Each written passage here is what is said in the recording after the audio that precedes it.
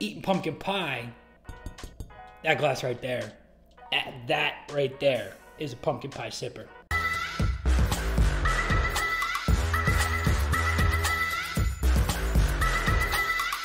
What's going on, everybody? Nathan here with the Everyday Drinker, bringing you guys a brand new episode of What's That Whiskey Friday. Today on the chopping block, we have Barrell Bourbon Batch 32, and we're gonna see if this is better than my favorite of Batch 31. So let's crack this bad boy open and see what it's all about. So before we get into this bad boy, I want to let you guys know about the 1,000 subscriber giveaway that we're doing. We are doing four two ounce pours of bourbons. We're doing Eagle Rare, Blanton's, Weller Special Reserve, and Wild Turkey Rare Breed. So if you want a chance to win those samples, make sure you click on that subscribe button, leaving likes and leaving comments to let me know that you guys are here and loving the content.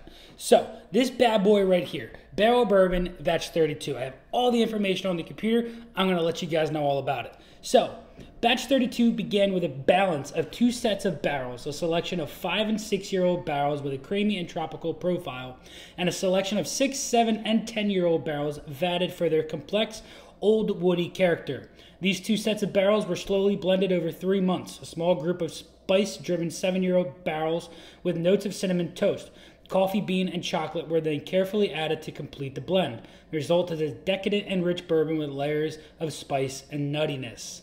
So this is distilled and aged in Tennessee, Kentucky, and Indiana. It is 5, 6, 7, and 10 year old barrels, and it is proofed at 115.34. So let's see what this is all about. Let's get right in the nose, guys.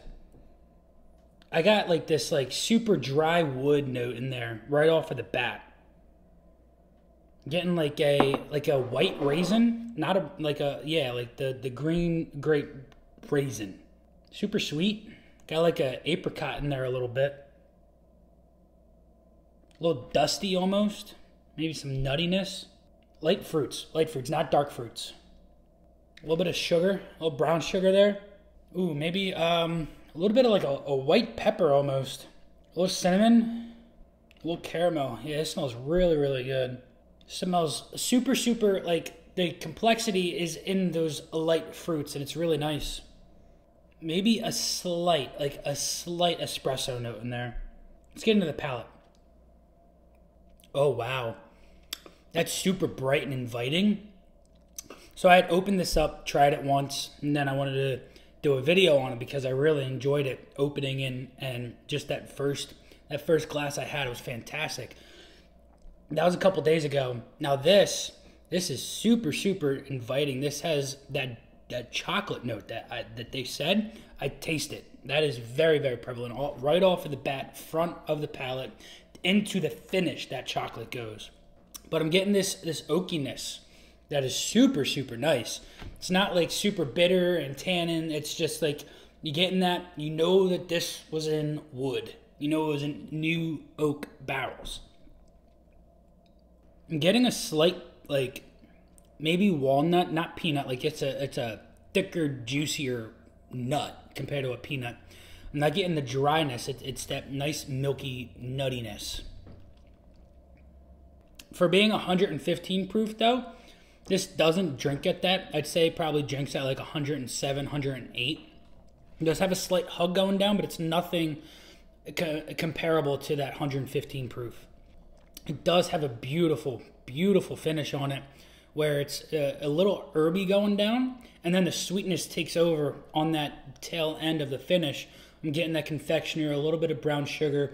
This is really, really good. This right here is a really good fall drink, in my opinion. I don't know if this is like a very good, like, sit out on the porch on a hot summer day, but eating pumpkin pie, that glass right there, that right there is a pumpkin pie sipper.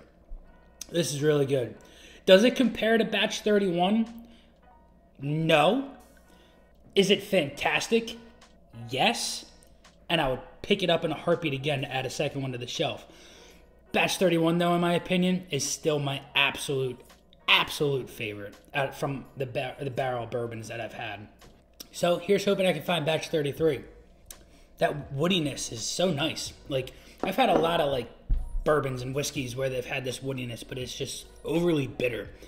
That one right there, it is. It, it's got the complexity with that wood that complements it so so well. Man, that's really good. Until next time, guys. This has been Nathan with the Everyday Drinker.